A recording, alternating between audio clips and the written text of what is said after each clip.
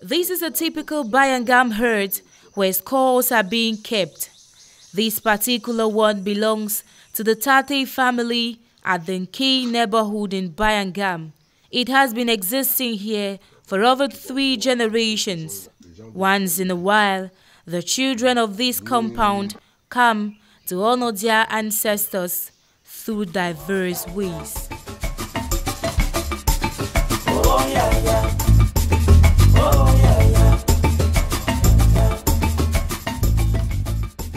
By so doing, not only are they said to maintain a close relation with their ancestors, but it is a proof of their remembrance and love for them.